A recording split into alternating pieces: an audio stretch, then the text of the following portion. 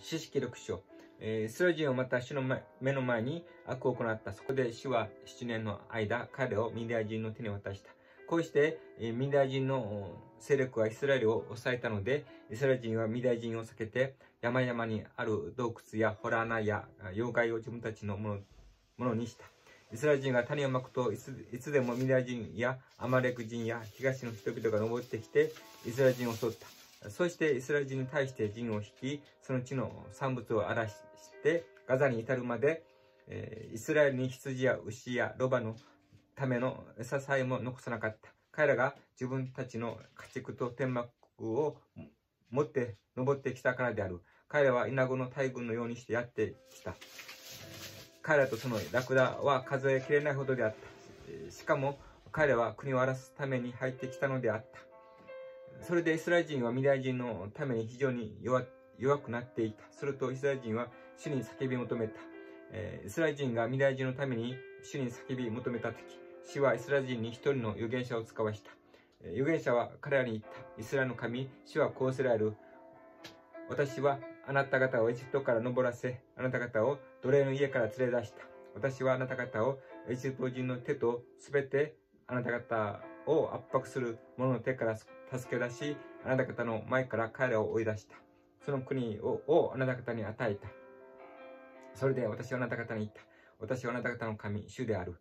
あなた方が住んでいる国のエムル人の神々を恐れとならない。ところが、あなた方は私の声に聞きたか聞き従わなかった。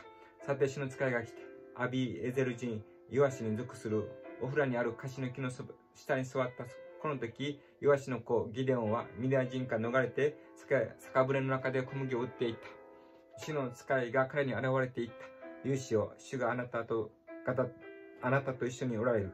ギデオンはその見つかりに行った。ああ、主よ、もし私が私たちと一緒におられるなら、なぜこれらのことが皆私たちに起こったのでしょうか。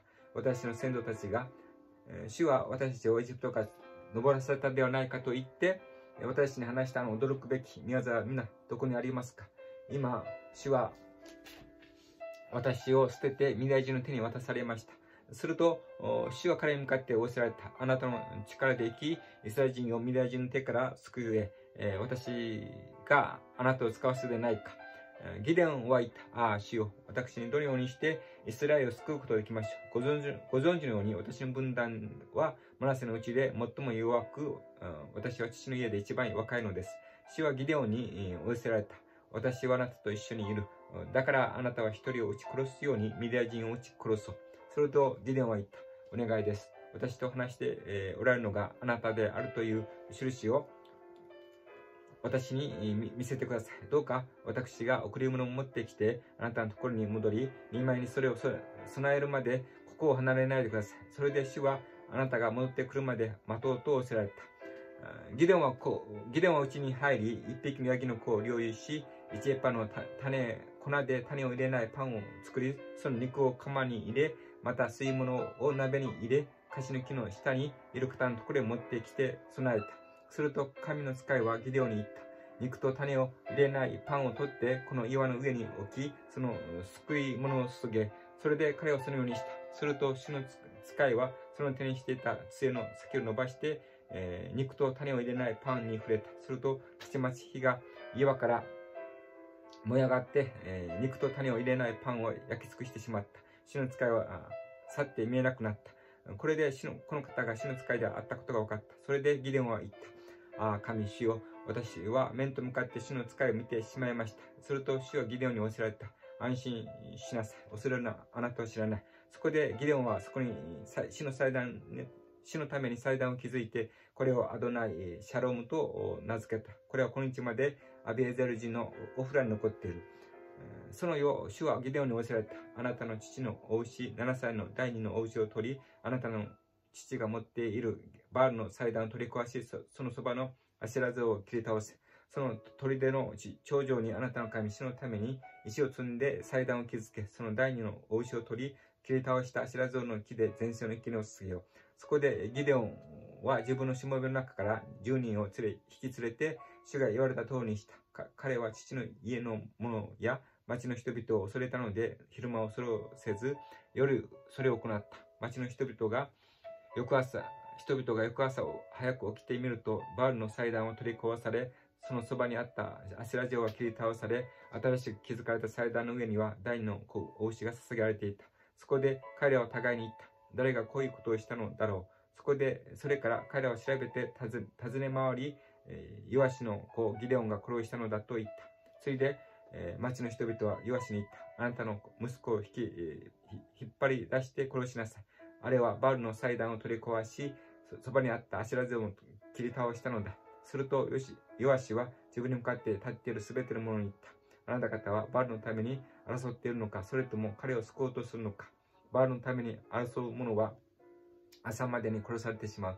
もしバールが神であるなら自分の祭壇で取り壊されたのだから自分で争えばよいのだ。こうしてその名は、その日、ギデンはエルバエル・バールと呼ばれた自分の祭壇が取り壊されたのだから、バールは自分で争えばよいという意味である。ミダ人やアミラク人やアマレク人や東の人々が皆連合してヨルダン川を渡り、イズレールの谷に陣を敷いた。死の霊がギデオに覆ったので、彼が角火を吹き鳴らすと、アビエルゼルが、アビエゼルが陣が集まってきた。彼に従った。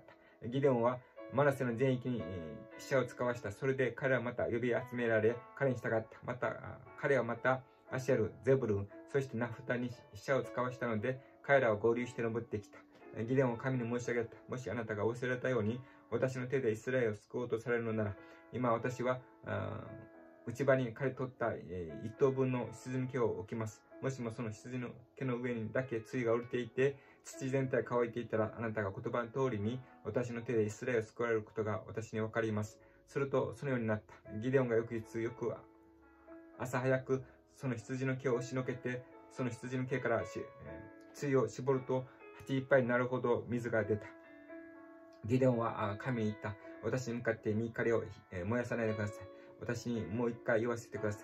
どうぞこの羊の毛でもう一回だけ試みさせてください。今度はその羊の毛だけが乾いていて、羊全体には水が降り降りるようにしてください。それで神はそのよう、そのようにされた。すなわち、その羊の毛の上だけが乾いていて、土全体には水が降りていた。